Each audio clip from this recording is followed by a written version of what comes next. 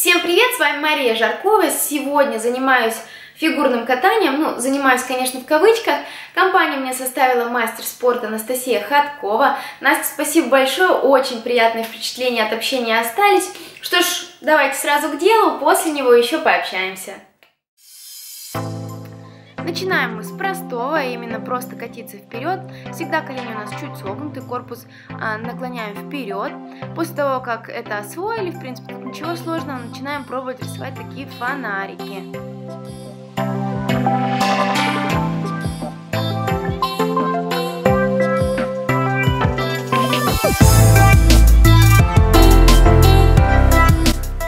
Теперь то же самое, но уже нужно катиться назад.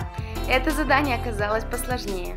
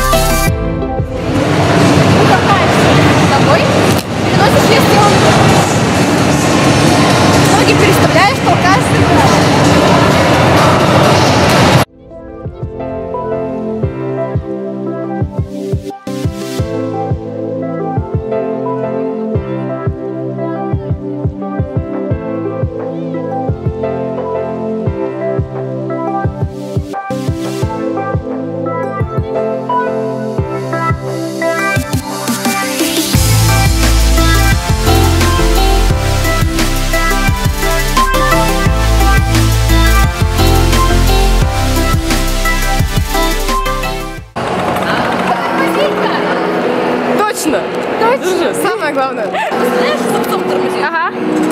Можешь тормозить вот так. То есть ты едешь, Ага. не задней части. Можно тормозить вот так. Вот так не надо. Не пытайся, ты Ага, ага. сразу. Можно, получается,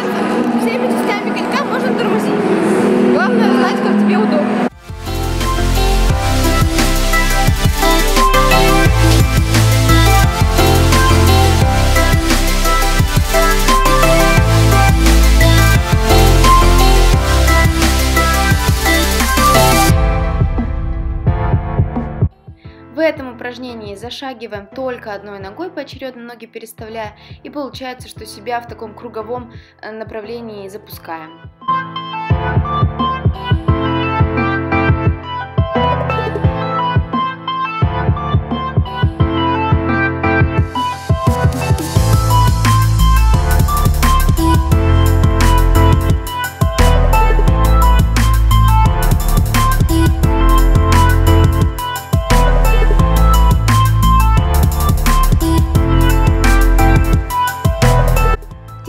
Попробуем катиться на одной ноге. Разгоняемся благодаря тому, что опорную ногу сгибаем и разгибаем. Помогаем себе той ногой, которая находится в воздухе.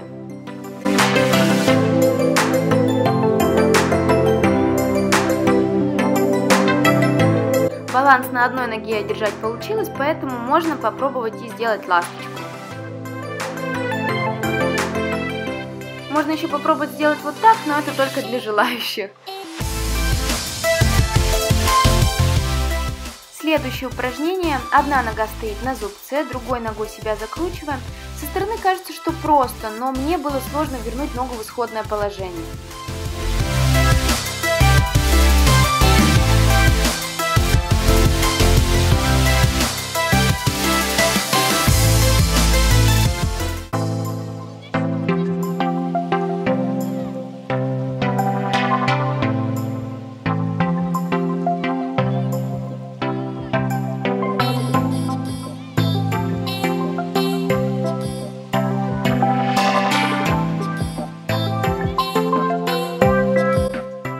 Вращение выполнить у меня не получилось, поэтому пришлось пойти на небольшую хитрость.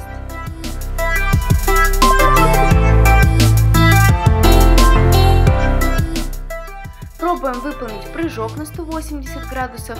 Чтобы чувствовать себя уверенно, сначала можно научиться подпрыгивать на одной ноге, как Настя сейчас показывает.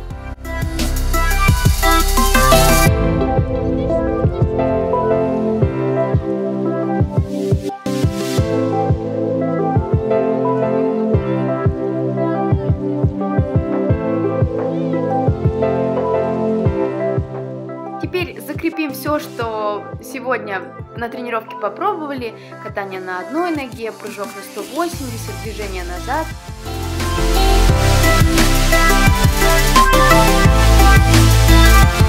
Ну и теперь домашнее задание от тренера на следующую тренировку.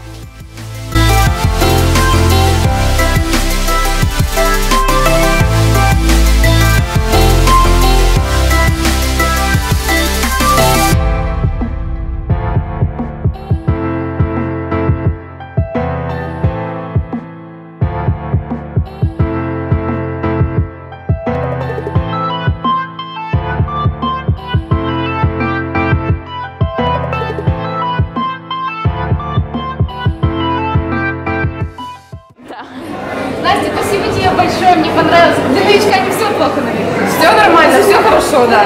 Ну, ты мастер спорта, все детство, да, провела. Сколько ты занималась? Да, я с 4 лет, 13 лет, уже 17 лет я занималась. Сначала одна маленькая каталась, потом уже когда постарше стала, меня забрали в пары. Пара спортзал. А вы сколько было тренировок в день? По две тренировки в день. Сначала зал, потом кросс, после этого, возможно, еще хореография. Ну, примерно по два с половиной часа в день, два раза. Как сама считаешь, в каком возрасте лучше всего отдавать ребенка, если родители хотят, чтобы занимался? Ну, вообще идеально года 3-4. Он, в принципе, травмоопасный. Да, да. Травмоопасный. Ну, это стоит того, мне кажется, потому что это очень интересно. Важно, это дух соревнований, когда ты ездишь на них. Много соревнований есть? Да, конечно, почти каждый месяц ездим. То есть само по себе фигурное катание, это очень интересно, это очень красиво. Вот вид спорта сейчас популярный достаточно стал. Ты нравится тебе, что и взрослые начинают заниматься? Да, сейчас, например, же у нас например, еще школу для взрослых. Они даже на соревнования. Я считаю, что это очень хорошо.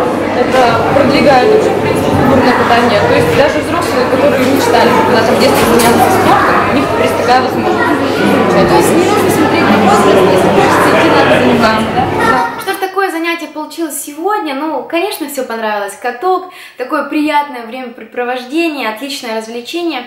Если говорить про спортивную составляющую, то, конечно, это не просто, нужно постоянно заниматься. Фигурное катание очень красивый вид спорта, и даже если вы новичок и уже во взрослом возрасте находитесь, но хотите попробовать, дерзайте, специальные секции сейчас есть. Да, наверное, это достаточно затратный вид спорта, потому что, ну, понятное дело, нужно обслуживать каток и за него платить. Даже не знаю, что добавить, все мне понравилось. Конечно, бы хотелось лучше кататься, более-менее простые элементы выполнять.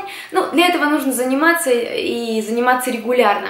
Вам спасибо, что вы это видео смотрели. Увидимся в следующий раз. Я вас обнимаю, целую и желаю добра.